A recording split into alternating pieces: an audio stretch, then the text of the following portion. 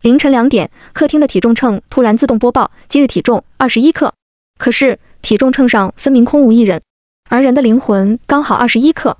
半夜，我被一道奇怪的声音吵醒，今日体重二十一克。温馨提示：您的体重过低，请注意补充营养哦。居然是客厅那个体重秤在语音播报，我瞬间清醒了几分。我烦躁地从枕头底下摸出手机，一看时间，凌晨两点。我一边打哈欠，一边在微信群里质问：“你俩谁大半夜在客厅称体重啊？还老是二十一克，吵死了！”这是爸妈给我在市中心买的房产之一，因为我胆子小，闺蜜王茉莉又长期租房，我就叫她来免费陪我住。第三间房则租给了另一个女生。很快，手机传来叮的一响，原来是茉莉在群里回了消息：“莎莎，你说什么呢？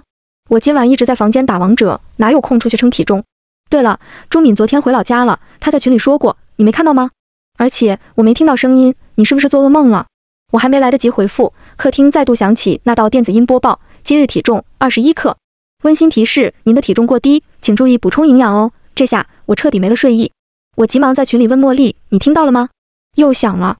现在家里只有我俩，我们都没有出去称体重，也没有养宠物，所以不可能是误触。茉莉略带敷衍的回我：“我估计是体重秤接触不良。我刚开了一局游戏，离不开呀。要不你去客厅把电池抠掉，应该就安静了。”我一向胆小，但是现在有起床气，怒撞怂人胆，正要打开房门走出去，突然手机震动，有人给我发来私聊信息，是今晚一直没在群里说话的另一个室友朱敏。他给我甩来一张游戏页面截图，又道：“别出去，王茉莉在骗你。”我刚刚看过了，他的游戏根本没在线，最新上线时间还是五个小时前。我急忙打开自己的游戏软件，一切正如朱敏所言，茉莉确实没有在玩。我压下忐忑，不敢再出房间。可转念一想，不对，其实我不出去也可以通过 App 关闭体重秤。这个秤是一个星期前茉莉送我的生日礼物，能精确到小数点后的八位数，能计算体脂率，自带语音播报，还能绑定手机 App，实时记录体重。我打开 App，操控手机把秤关机。这下应该不会响了。我悄悄走过去检查了一下房门，都好好反锁着，这才放心的继续睡觉。可刚眯着，耳边又响起那道催魂夺命的电子音，这下我的心态彻底炸了。我再也睡不着，疼得坐起身，眼睛发直的抓起手机。App 上体重秤赫然显示关机状态，可是它明明还在响。一看手机，两点十五分，我并没有眯多久。茉莉这时候在群里疯狂艾特我，莎莎，什么情况？我也听到了。怎么那玩意还在响？你去客厅抠掉电池啊！我正在打团呢，不能挂机。我心态都要崩了，一看这话，没好气的质问他：“你游戏都不在线，打的哪门子团？”茉莉气呼呼的回我：“我的号已经荣耀了，我玩的朋友的号，你没加好友，肯定看不到啊。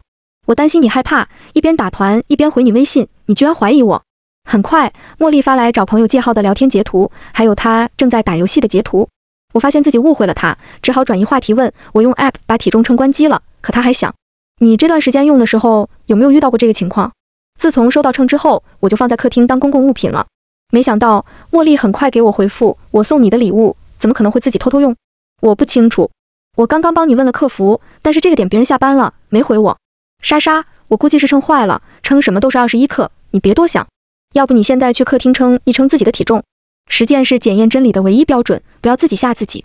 我想了想，有道理，要不出去看看？说不定就是我的心理作用。这时，手机再次震动，朱敏给我发来私聊：“别信王茉莉的，别出去，只有鬼的重量才刚好二十一克。你现在出去，附在体重秤上面的那只鬼就会杀了你。”看到这些消息，我脸色惨白，却又不敢相信自己的闺蜜有问题。毕竟朱敏和茉莉一向不对盘。茉莉高中没毕业就出来混社会了，是个及时行乐主义者，爱玩爱闹。另一个室友朱敏则一看就是学霸，成天戴着一副黑框眼镜，沉闷的刘海盖住大半张脸。俩人发生过几次小矛盾，都被我化解。朱敏觉得茉莉作风不好，茉莉则觉得朱敏无趣又死板。我担心朱敏是借此机会挑拨我和茉莉的关系，于是怀疑地问：“你不是回老家了吗？怎么这么晚还没睡？”朱敏说：“她刚看完书，正准备睡，就看到群消息了。”见我不太信任的样子，过了一会，她突然说：“App 可以记录每次的体重吧？你看看你称了多少次了？”我迅速打开 App 一看，六次。得到回复后，朱敏严肃地说：“七为极阴之数。”七日还魂，你听说过吧？其实夺魂也是七天。人的脚上有一个三阴穴，直通三魂七魄。只要你再上一次秤，那只鬼就能从你脚底钻进你的身体，吞噬你的灵魂，彻底取代你。我吓得手机差点掉在地上。那么大一个六次，由不得我不信。知道我害怕，朱敏话锋一转，又安慰我：“你别出房间，只要熬到天亮就好。”这才两点半，距离天亮还有很久。我并没有被安慰到。果然。门外响起脚步声，咚咚咚，咚咚咚，不对，不是脚步声，似乎是什么东西砸在地上的声音。我脸色发白，体重秤是体重秤，它居然在一蹦一跳的移动，它正缓缓朝我房间靠近。电子音一卡一顿，带着满满的恶意。今日体重二十一克，请补充营养哦。一片漆黑的房间门口突然白光闪烁，光线从门缝里丝丝缕缕挤进来，那是体重秤亮起来的光。它停在了我的房门口。幸好我睡前有反锁房门的习惯。我蜷缩在床上，大气也不敢出，整个人都在颤抖。补充营养？什么营养？我就是它的营养。电子音还在播报，一声接一声，仿若催魂。好在我听了朱敏的话，死活不开门。这鬼东西似乎一时半会进不来。响了一会后，外面没了动静，门口也陷入漆黑。难道是没电了？他走了。我心底一喜，小心翼翼地光脚走到房门口，俯下身，撅起屁股，透过底下门缝朝外看去。蓦然，我对上一双鲜红的瞳孔，有人在偷窥我。下一秒，门口响起一道笑嘻嘻的声音：“哎呀，莎莎，你干嘛呢？给你发消息也不回，担心死我了。”原来是茉莉，也是她长期熬夜。眼睛满是红血丝，不稀奇。我哆哆嗦嗦地问：“体重秤呢？”隔着一扇门，茉莉声音悠悠：“我把她丢下楼了，别怕。我游戏打完了，快开门，今晚我陪你睡。”一听这话，我放下心来，正要开门，突然我瞥到亮着的 app，不，不对，体重秤还显示着已连接。我们这里是十二楼，如果茉莉真的把体重秤丢了下去，这么高的距离是会自动断掉蓝牙连接的。她在骗我。见我不为所动，茉莉有些不耐烦了。她开始撞门，砰砰砰，还好房门结实。见撞不开，茉莉突然离开，听动静是回了她自己的房间。接着他又回来了，我的房门响起窸窸窣窣的动静，他居然在撬锁。可他说的话却像是真的担心我。莎莎，你是不是又犯病了？看到什么奇奇怪怪的东西？你不要被蛊惑，千万别想不开，我这就来保护你。犯病？我有病吗？好像是的。眼看着房门即将被打开，体重秤马上就要进来了。我怕得要死，幸好朱敏及时打来电话。我的声音带着哭腔，问他该怎么办。朱敏在电话那头厉喝：“莎莎，听我说，你现在立刻把桌椅抵住房门，把窗帘全部拉紧，门缝也用衣服堵死，不要让外面的光源泄露一丝一毫进来。只要门不开，不透光，这鬼就进不来。然后你打开手机，我给你发一个链接，你下载链接里的这个电子蜡烛软件，点燃电子蜡，你把手机放到枕头边，我会让我的护身仙家通过软件去帮你。原来朱敏还有护身仙家。”难怪茉莉总说他神神叨叨的，明明只是租客，他却愿意这样帮我，我莫名有点感动。我哆哆嗦嗦的起身，费力拖动书桌，把桌子椅子一股脑儿抵到门口，又点开朱敏发来的链接，下载了电子蜡烛软件，点燃电子蜡，漆黑的房间瞬间被科技火光照亮。直到我按要求做完一切，朱敏冷淡下来，又恢复往日那副死水模样。行了，你什么也不用做，安静的躺在床上睡一觉，醒来之后一切都会结束。说完，他直接挂断电话。我还是觉得没有安全感，起身翻箱倒柜，准备找一个防身之物。我不知道的是，在我转过身后，放在床上的手机忽然一震，一道血红的影子在电子蜡烛的火光中从手机屏幕里钻出，缓缓贴向我的后背。咦，我察觉到背后突然一冷，猛地扭头去看，却什么也没看到。与此同时，我的手在压箱底的包里碰到了一个坚硬的东西，我迅速拿出来一看，是一把褐红色的剪刀，不知道哪里来的。刀身摸着特别滑腻，说不上来的手感，像是裹了一层人皮。拿到鼻端一闻，还有一股淡淡的血腥味。这剪刀虽然有点诡异，可却是我现在唯一的武器。不管了，死马当活马医。而我不知道的是，原本那道红色虚影已经要碰到我的背，即将趴到我背上。在我的手摸到剪刀的那一瞬，红影忽然被灼烧，身上甚至冒起淡淡的黑烟。他倏地一下缩回手机里，电子蜡烛软件也自动闪退，就像什么都没发生过一样。刚挂断的朱敏再次打来电话，语气很是气急败坏：“季莎莎，你刚刚做了什么？”我有些莫名其妙：“不是，我做了什么？我没做什么呀，我不就按照他的要求武装房间，我不就找了一把剪刀。问题是朱敏没说让我找武器，她只是让我躺平。想到这，我担心自己是不是做错了什么，下意识隐瞒了这件事。见我沉默，朱敏的声音居然带上了一丝咬牙切齿：“好好好，我现在就回来，你别动，不然王茉莉和体重秤那个鬼一定会杀了你。”房门口，茉莉闯门失败。其实锁已经撬开了，但是门被桌椅抵住，她进不来。朱敏的办法果然帮了我。我握着剪刀，躺在床上，心里安定不少。茉莉在外面不停地敲门：“莎莎，你刚刚跟谁打电话？是不是朱敏？”我嗯了一声。茉莉冷笑：“我就知道是她从中挑拨，否则我们这么多年闺蜜，你为什么突然反常？”她越说越生气，丢出一颗炸雷。前天我路过朱敏的房门口。看到他居然在里面点了一屋子白蜡烛，我当时忘了告诉你，你如果真的认为体重秤闹鬼，那肯定是朱敏做的手脚，只有他懂邪术。茉莉这么一说，我倒是隐约想起来一些事。把房间租给朱敏之后，我不会擅自进去，但有一天我在自己房间，居然被他房间飘出来的烟给熏到了。那时候我还怀疑他是不是在我家放火，本来是想进去看看的。可我刚走过去，朱敏就出来拦在门口，说这个房间蚊子多，他只是在用驱蚊烟饼，还拿了两块给我用。他房间外是小区公园，树很高，我便打消了怀疑。可听茉莉的意思，那并不是灭蚊，而是朱敏在做什么法事。再联想到朱敏刚刚让我在房间做的事，是有些怪异。见我松动，茉莉的语气温柔下来：“我俩这么多年闺蜜，你连我都不信吗？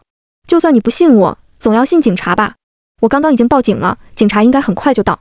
对我没有丢掉体重秤。”那是因为我想把朱敏作恶的证据留着，等会儿交给警察。你不想看到我认为体重秤是我做的手脚，我理解。我现在就带着体重秤回房间，把自己和这鬼东西反锁起来，等警察来了我再出来。不过等会就要麻烦你去帮警察开门了。我果然听到茉莉走远的动静，随后他房间传来关门落锁的声音。他这样做倒是让我放心不少。如果茉莉真要害我，怎么可能主动帮我报警？这不是自相矛盾吗？况且警察一身正气，就算家里真的闹鬼，也能破除所有邪祟。茉莉和朱敏各执一词，我现在只相信警察，我安心等他们来就行。说服自己之后，我的情绪逐渐平静。我握着剪刀，警惕地盯着房门口。三点整，玄关外面传来咚咚咚的敲门声，声音格外空旷，在夜色里清晰地传到我耳边。你好，请问是季莎莎女士吗？我们是警察，接到您的报警电话，还请开门。这么快吗？警察终于来了。我几乎喜极而泣，啪嗒一声，我没有犹豫，立刻打开房间的灯，撅起屁股看了看门缝底下，确认外面没有茉莉和体重秤之后，我才挪开桌椅，直接打开房门，按亮客厅的灯，朝玄关冲去。我拉开一道门缝，外面果然站着两个穿制服的警察。我下意识地看向他们脚底，有影子，是活人。直到他们给我看完证件后，我才彻底放下心，打开门让他们进来。我本想让他们检查一下家里。看看到底是人还是鬼作祟，顺便叫茉莉把体重秤报出来。可当我的目光不经意扫过两名警察的脸，整个人顿时僵住。我喜欢刷短视频，很巧的是，之前刷到过一条科普：警察是不会蓄胡子的。可是这两名警察留着浓密的胡子，他们根本就不是警察。我立刻握紧手里的红色剪刀，强装镇定地说：“不好意思，请你们出去，我没事了。”见已经暴露，两个男人索性不装了。他们直接把门关上，嘴角扯出诡异的笑，迅速朝我扑来，四只粗壮的大手恶狠狠抓向我的肩膀。我头皮一炸，疯狂后退，直到退到一具温热的身体上。我被人扶住，身后传来女生关切的声音：“莎莎，你还好吧？”是茉莉，茉莉出来了。在她声音响起的同时，两个男人停住了脚步，我得到了喘息的机会。我转过身，用尽全身力气，狠狠地甩了茉莉一巴掌，咬牙切齿地瞪着她：“王茉莉，你骗我！”他们根本就不是警察。茉莉低垂着头，抚着脸，轻笑出声：“呀，被你发现了！不这样做，你这个胆小鬼怎么敢走出房间呢？我又怎么进行下一步呢？”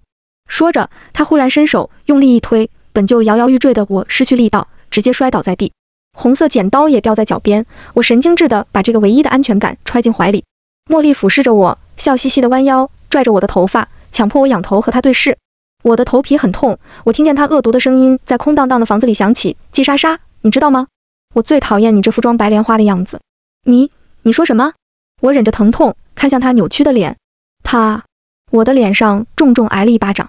王茉莉冷笑：“我说你就是个虚伪的贱人，要不是你有钱，谁愿意跟你当闺蜜？无论身高、长相还是成绩，我都不输你。我不明白为什么所有人都觉得你比我好。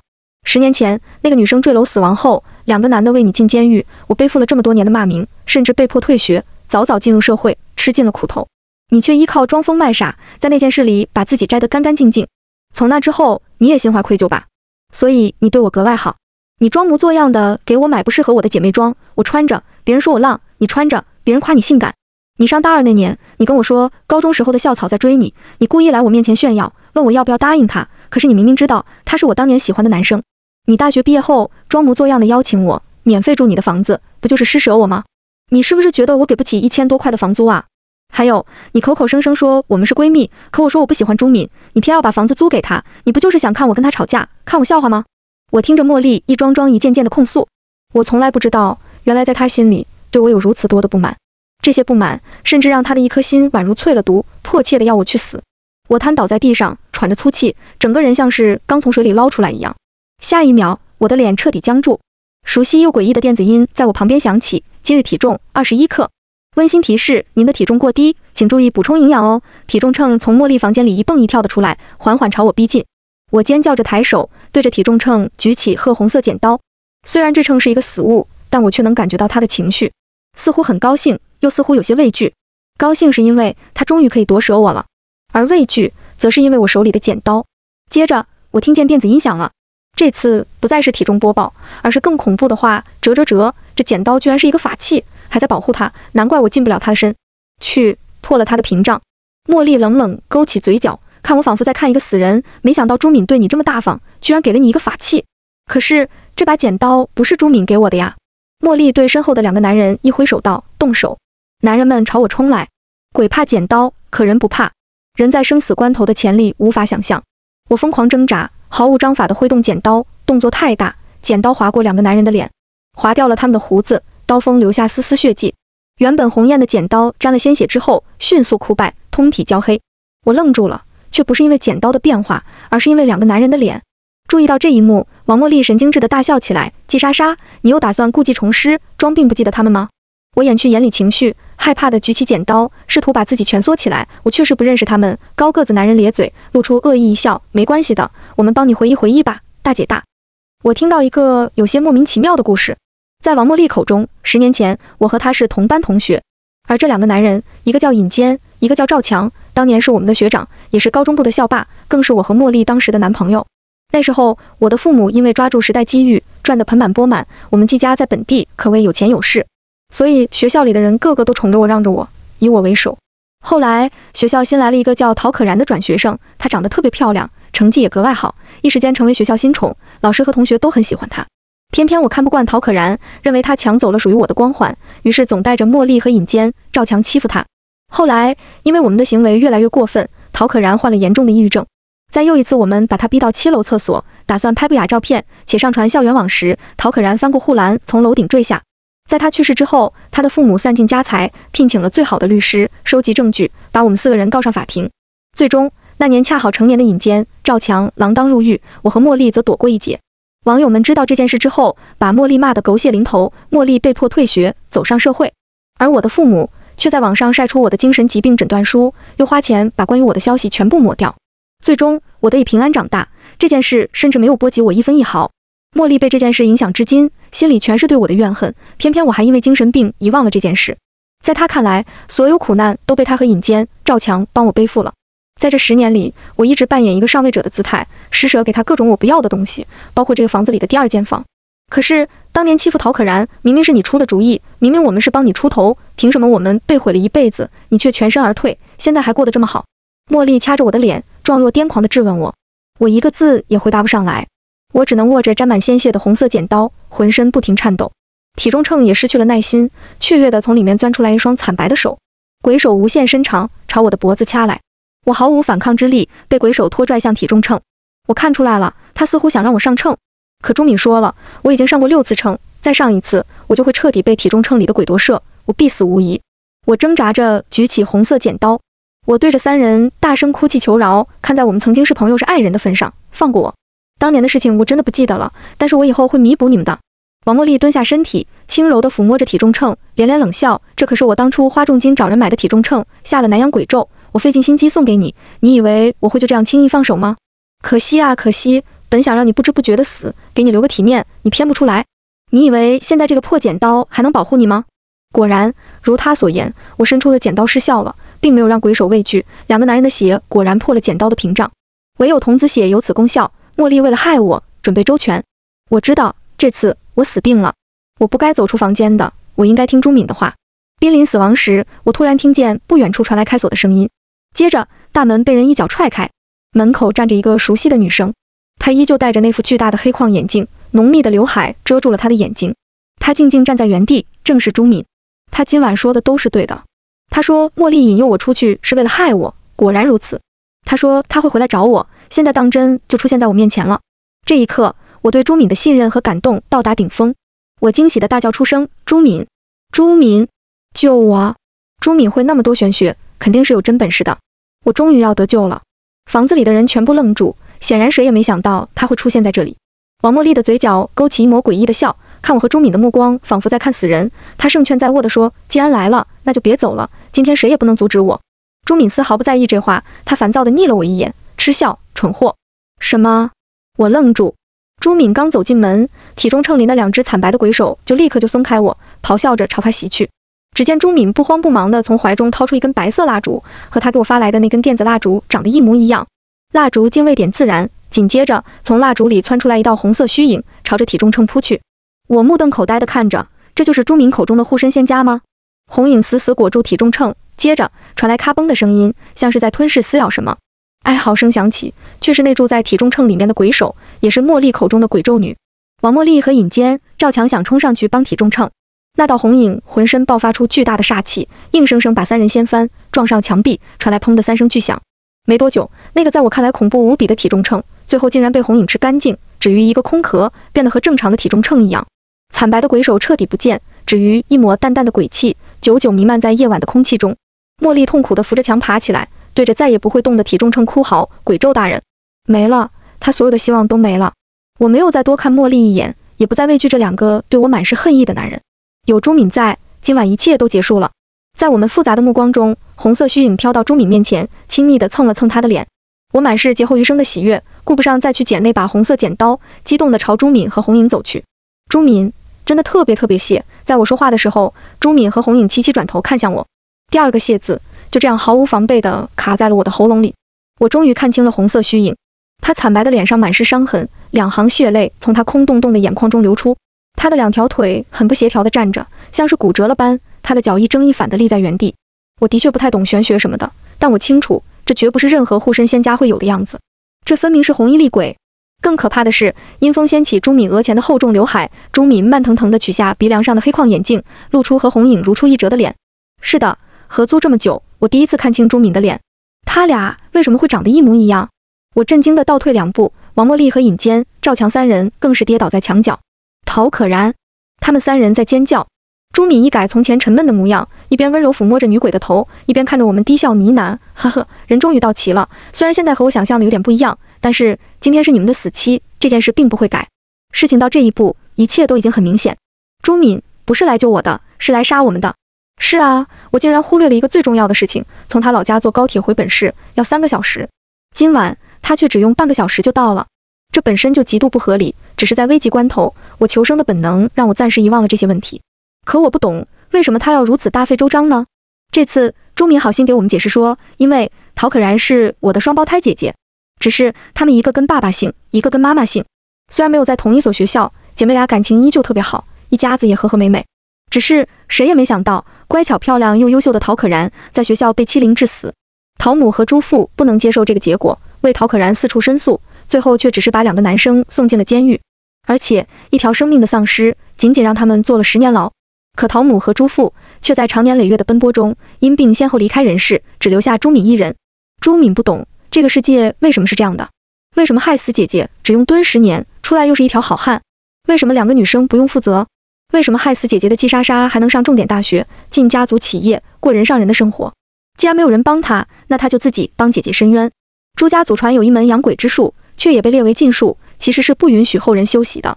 这禁术要以自己的鲜血为祭，每晚点烛招魂，便能让冤死的陶可然留在人世。走投无路的朱敏最终开启了这一门术法。我曾经在他房间闻到的烟火都不是假的。王茉莉随口说，朱敏可能要害我也不是假的。见我们正愣，朱敏看向我的目光满是怨毒。你可知道，我花了整整一年时间，才在这个房子里布下聚魂杀阵。你的房间是阵眼，只要你死在阵眼中，阵法就会自动开启，整个房子沦为死牢。无论王茉莉、尹坚、赵强。还是他们那些恶心的父母长辈，甚至整个家族的人，无论他们在这个世上哪个角落，都会死无葬身之地，为我姐姐献祭。而那个鬼咒女王茉莉刚把她带回来时，我就知道了。我故意不说，本想养肥了她，让她成为姐姐的养料。可惜，呵，季莎莎，你不能死在别人手里，你只能死在我姐姐手里。杀光你们，吞下你们的魂魄之后，姐姐就能凝聚实体，成为鬼修，再也不用忍受轮回之苦，甚至还有机会得到成仙。都怪你，季莎莎，你不听话，我让你封闭房间。点燃电子蜡，姐姐原本可以通过手机去杀了你，启动阵眼，可是你偏要出房间，你偏要我亲自回来一趟。不过没关系，现在还没到四点四十四分，一切都还来得及。养料已死，我姐姐的实力又壮大了几分，只要把你丢进阵眼，阵法依旧能开启。四点四十四分是天光破晓的时候，无论什么魑魅魍魉都必须离开太阳底下龟缩起来。而现在已经四点二十分。朱敏嘴角翘起，对着陶可然那抹红色虚影说：“姐姐，去把季莎莎拖到阵眼里。”红影微微转身，对我伸出尖利的鬼爪。我再也忍不了这种在鬼门关进进出出的感觉。我扑通跪倒在地，抱着朱敏的腿开始大哭。朱敏，这一年我对你不差吧？你说我害死你姐姐，可是我根本就不记得那些事情了。王茉莉能给我作证，我这些年一直在吃药。求求你放过我，放过我，我真的不记得了。朱敏不为所动，红影呼啸而来。就在这千钧一发之际，原本紧锁着的大门突然莫名其妙的再度打开，门口站着一个一袭红裙的陌生女人，在夜色衬托下，她简直比陶可然更像鬼魅。女人长相艳丽，黑长的卷发逶迤至腰间，红唇饱满鲜润，如同刚刚喝了血。她斜挎着一个鼓囊囊的花布包，精致的脸上挂着一抹未及眼底的笑。呀！南阳咒女，朱门鬼修，这里今晚可真是好生热闹啊！我没来迟吧？说着，他闲庭散步一般走进来，大门在他身后无风自关，隔绝一切。女人纤长的手指从布包里掏出一把鱼鳞刀，接着她把那刀朝陶可然的方向一抛，只见鱼鳞刀径直飞到虚影身上，迅速贴住他的皮肉，极轻极轻地刮了一下，一片血肉随即落下，化作黑烟消散。陶可然却仿佛受了极刑，凄厉的哀嚎，满地打滚。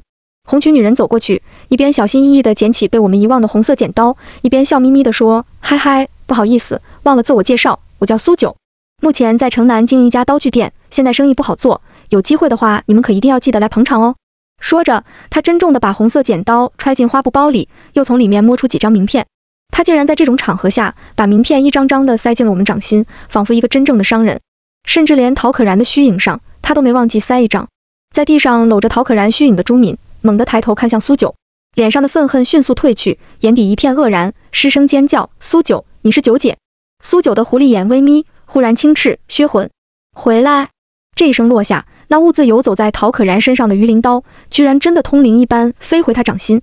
苏九把玩着小巧的鱼鳞刀，垂眸看向地上的朱明姐妹，轻笑道：“既然你叫我一声九姐，那我这个做姐姐的最是看不得小孩吃苦，修行不易，尤其是鬼修，消去魂魄的惩罚便就此作罢，再有下次。”我可没这么好说话喽！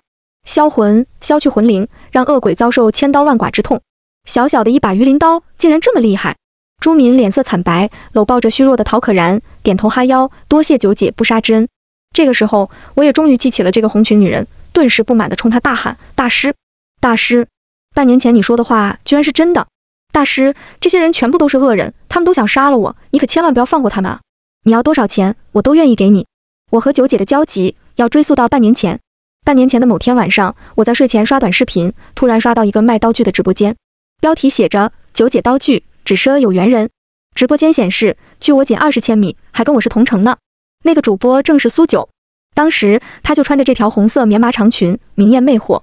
可仔细看去，他手里却抓着一把瓜子，正对着镜头有一搭没一搭的磕着，动作和脸很是割裂。当时是大半夜，直播间观众不多，都在对着美女舔屏。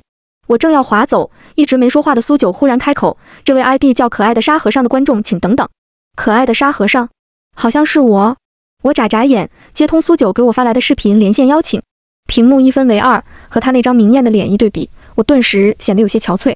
我还没问他拉我上麦干嘛，他不知道从哪里摸出一把通体褐红的剪刀，在镜头前挥了挥，笑眯眯地对我说：“沙和尚，观你面相，黑气萦绕，半年内有血光之灾。姐姐送你一把剪刀，现在不要钱。”等你家什么时候闹鬼了，我再来收账。听到他这莫名其妙的话，我顿时炸毛。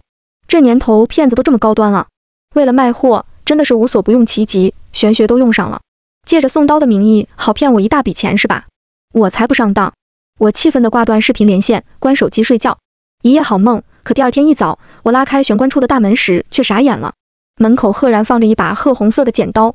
我没有下单，也没有写地址啊，这剪刀怎么自己连夜送来了？当时我确实觉得很奇怪，可我急着上班，没想太多。后来我把剪刀不知道塞哪里去了，便完全忘了这个小插曲。毕竟网络诈骗太多了，要不是今晚家里闹鬼，我无意中翻出这把剪刀，还真的是错过了这么厉害的一个大师。就连朱敏都叫他九姐，他肯定能帮我以绝后患。可是听完我的诉求之后，苏九原本笑着的眸子忽然冷下来，他看向我，只似笑非笑的问了一句话：“季莎莎，你当真忘了陶可然吗？”我的心脏砰砰直跳，可我强压了下去。王茉莉、尹坚、赵强嘲讽地看着我，朱敏愤怒地瞪着我，陶可然一双鬼眼目不转睛地盯着我，仿佛只要我说一句没有，他们就会立刻撕碎我。一晚上的高强度压力之下，让我的情绪濒临崩溃。我仓皇点头，我忘了，我真忘了，我不记得一切，我没有做过。苏九漂亮的脸色露出一丝失望，她再度从花布包里掏出那把褐红色剪刀，她随手用刀锋划破自己的左手，抹在刀锋上。很快，原本失去法力的剪刀再度焕发光彩。苏九轻轻抛出剪刀，今晚一直在保护我的剪刀忽然朝我飞来，让我避无可避，径直点在我咽喉右边。这是真言学，忌杀杀，赊刀一门，只救无辜之人和改过之人。赊刀一门，原来苏九是传说中传承了上千年的赊刀人。原来如此，原来如此。剪刀并没有划破我一丝皮肤，可不知怎么的，在这股力量的加持下，那些被我隐藏了十多年的话，如爆竹一般被我噼里啪啦的吐了出来。对我从没有把王茉莉当成过真正的闺蜜。姐妹装是我随手买的，基本是买一送一的折扣价。对她的好也都是一些小恩小惠，以免她把我的秘密暴露出去。她的谣言是我传的，因为两个人一起玩，总要有红花绿叶之分。我不允许她超过我。我一直看不起王茉莉，她学历低，随便一点东西就能收买她。她从小就是我的走狗。上学时，她是我最好的背锅侠。无论我做了什么，老师同学首先怀疑的都是恶名在外的她。毕业后，她是我免费保姆，洗衣做饭打扫。我只需要免费给他一间房，他就能帮我做好。至于为什么一定要把房子租给朱敏，是因为朱敏给的租金最高，且一次性付了一年的租金。闺蜜的喜好绝对没有钱重要，我怎么会跟钱过不去呢？当年陶可然的死，在我看来，尹坚和赵强坐牢很正常。我家里有钱，未来一片美好，我可不能因为一个人的死就背上任何罪名。反正有尹坚、赵强和王茉莉三个傻子帮我挡着，我装疯卖傻就行。对，是我带头欺负陶可然的。区区一个转学生，凭什么分走我经营了三年的光芒？对，陶可然是被我们害死的，我是故意装病的。我记得一切，我巴不得他们都死干净，这样就没人知道我的过去了。对，我认为我没错。啪，重重的一巴掌打在我脸上，是朱敏。他几乎气得浑身发抖，难以置信地反问：“你认为你没错？”我被扇得偏了头，舔舐着嘴角的血腥味，忍下心里的怨恨。当我再次转过头时，脸上已经换上了可怜的表情。对不起。陶可然，是我对不起你，求求你放过我。没人理我，只有王茉莉忽然大笑起来。季莎莎，你真是虚伪至极。说完，她双眸赤红的看向朱敏和陶可然，咬牙道：“十年前的事情是我的错，后来我被网络暴力到退学，一辈子尽毁。我知道我遭遇的这些还不足以偿还一条人命，但是我真的愿意用一切去弥补，哪怕是命。在我用南洋咒术害季莎莎的时候，我就已经做好了失败被反噬的准备。现在我输了，我愿赌服输。”说着。他瘫倒在地，却高高扬起了脖子，一副任由处置的模样。尹坚和赵强两个人更是沉默不语，缓缓跪倒在地上，对着陶可然的方向重重地磕了三个响头。苏九莞尔一笑，收回抵在我脖间的褐红色剪刀，对陶可然的虚影道：“修行不易，鬼修尤其是。现在我给你两个选择：一，你报仇雪恨，我出手阻止你魂飞魄散；二，你随我修行，不问仇怨。个人自有个人因果，他们会有应得的报应。”从头到尾一直没有说话的陶可然突然出声，他抬起惨白的脸，受宠若惊地看向苏九九姐：“您您当真愿意带我修行？”苏九含笑点头：“是，天命有数，你一心向善，不该在此时伤人。我本就为你而来。”随后，他伸出那把褐红色剪刀，对陶可然温声道：“以后你就住在这里面吧。”陶可然虚弱的红影迅速一闪，已经钻进了那把剪刀里。看到他们莫名其妙的动作，我的心突然慌了，也怒了，更是涌现一股嫉妒。凭什么？凭什么一个鬼还能修行？凭什么他还有机会成仙？我忍不住站起身质问苏九：半年前你给我寄来这把剪刀，难道它不是我的东西吗？你怎么可以让陶可然住在里面？还有，今晚难道你不是为我而来，不是来帮我杀这些恶人恶鬼的吗？你为什么包庇他们？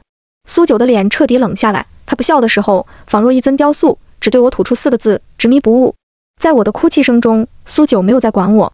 他冲王茉莉、尹坚、赵强和朱敏挥了挥红色剪刀，四个人便如鹌鹑一样跟随他往大门外走去。苏九一边走一边从花布包里面掏出一部智能手机，按了一串号码，然后很随意的开口道：“喂，老詹，是我。秦安小区发生一起悬竹杀人案，人我都给你们抓住了，你们来擦屁股吧。”寄生在红色剪刀里的陶可然突然怯生生的出声：“九九姐，我妹妹没有杀人，这应该算杀人未遂吧？”其余三人也疑惑又害怕的看向苏九。九九姐，我们也没杀成功啊！唯有苏九眼眸深了深，突然他指尖轻弹，一抹金光射向手里的红色剪刀，再然后红色剪刀里的陶可然发出一声干呕，一道白影不受控制的从剪刀里面飞出，扎进原本已经毫无动静的体重秤里。一行五人快步走出玄关处的大门，我刚要跟上去，一阵冷风拂过，把我推向客厅中央，大门重重砸上。我倒在客厅里，惊恐地看着面前重新晃动着站起来的体重秤，看着那里面伸出两只惨白的手臂。我听见耳边响起一道冰冷的电子音：“今日体重二十一克。温馨提示：您的体重过低，请注意补充营养哦。”嘻嘻嘻嘻。赊刀人的刀从不是免费馈赠，苏九收的账竟是我的命。咔嘣咔嘣，一辆黑色商务车唰的一声停在清安小区楼下，车门上贴着七个大字：特殊事件管理局。车上走下来五个人，为首的是一个英俊挺拔的青年男人，他一米九的大高个，剑眉星目，神情冷肃。男人快速走到歪歪扭扭站着的苏九面前，蹙眉道：“苏九，我提醒过你，不要插手我们特管局的事。”苏九翻了个白眼，把朱敏和王茉莉四个人朝男人的方向一推，意味深长地笑道：“等您沾队来，这个小区的人可都死光了。”朱敏拿的聚魂杀阵是残卷，他根本不知道，如果季莎莎真的死在房间，死在阵眼里，阵法大开，不仅是王茉莉三人和他们的家族，就连整个清安小区都会沦为炼狱。幸好苏九早在半年前就在直播间意外偶遇季莎莎。卜算出他的命数，赊了一把红色剪刀给他。那把剪刀名为善念。苏九那时候是真心想救季莎莎的，不然当初不会送他剪刀。其实按照正常流程来说，只要季莎莎真心悔改，苏九就能救下她，顺便收点劳务费就行。赊刀人本就为了却人间因果而存在，可惜季莎莎没有一丝善念。其实赊刀人炼制的刀有灵，是不会被区区几滴童子血破功的。是剪刀的善念选择了自毁。那时候他不想保护季莎莎了，执迷不悟的人，刀灵不洗的人，苏九不惜得浪费精力去救。从哪里起，便从哪里灭。死于王茉莉之手，或者说死于鬼咒女之手，本就是季莎莎今日该有的宿命。苏九不后悔。等到把朱敏和王茉莉四人押上车之后，站在詹记身边的可爱女生急忙解释：“九姐，咱们詹队不是不管事，实在是忙不过来，您可千万别跟他生气。他已经忙得三天没合眼了，最近鬼怪横行，也不知道怎么回事。”到处需要咱们，根本人手不够。哎，明天又要赶往一个叫骆头村的地方。据说那里自从清明节祭祖之后，村民便陆续死去，很是奇怪呢。可爱女生还在絮絮叨叨，詹记拧眉打断她：“小鹿，够了，这些事不要跟外人说。”小鹿吐了吐舌头，对苏九露出一个歉意的笑。苏九不甚在意，见一切都处理好，对小鹿挥挥手，便要转身离去。忽然，詹记鼻端微动，眸色渐深，猛地拽住苏九纤细的手腕：“你在楼上做了什么？”苏九挑眉，用力挣脱他的手，伸手在男人胸口拍了拍，魅惑的眨眨眼，嗯，给你留了一个南洋鬼咒女，你现在去，可是能拿一个大功劳呢。可别说九姐不照顾你。詹记再次捏住他的手腕，厉声道：“你杀了人。”这次苏九笑得更灿烂了，另一只手甚至伸进了花布包，东西可以乱吃，话不能乱说，是南洋鬼咒女杀的，不是我。詹记寸步不让，以你的能力，本可以救下她。苏九嗤笑，那把名为销魂的鱼鳞刀猛地拔出，几乎是贴着詹记的睫毛擦过。幸好他身手敏捷，躲得快。苏九冷笑一声：“胜负，滚！”随后跨上他的小电动车，潇洒离去。这次詹记只是深深凝视着他摇曳生姿的背影，却没有阻拦，直到看不见他，才大步朝楼上走去。两个手下留下看守嫌疑人，另外两个手下紧随其后。留下来看守的两个手下开始蛐蛐。一个新人凑到小鹿面前，压低声音问：“刚刚那个女人是谁啊？居然敢那么和詹队说话？”小鹿一脸崇拜地捧着心口，语气夸张地说：“她可是当今世上唯一一个射刀人，鬼谷子大弟子苏秦的直系后人，苏九，江湖人称九姐。”三回到九姐刀具店后，苏九哼着小曲，细长的高跟鞋踩着咯吱作响的地板，直接闭门谢客。偌大的打铁屋里，墙壁上陈列着各种刀具，见到苏九，许多刀发出嗡嗡嗡的声音，像是在欢呼。苏九纤长的手指一一抚摸过这些刀，语气宠溺：“行了，我也想你们。对了，我给你们带了一个新朋友，可不要欺负他哦。”说着，苏九把褐红色剪刀挂了上去，随后他拿起手机，咔嚓一声给剪刀拍了个近照。回到昏暗的房间，他把照片打印出来，斜靠在桌子边，咬着笔头思索着什么。随后，他龙飞凤舞地在照片背面写下：“二零二四年四月二十九日凌晨四点二十，因。”感受到小红的气息，去往清安小区救死扶伤，成功七成。分币未赚，还被可恶的面瘫詹训斥一顿。可恶！非常不爽的赊刀门门主苏九记。写完之后，他从床底下翻出一个铁皮盒子，里面居然全是照片。他小心翼翼地把这张红色剪刀的照片放在盒子最上层，随后关好，放回原处。突然，他的脑海中闪过小鹿今天说的话：“嗯，骆头村要不要去凑个热闹呢？”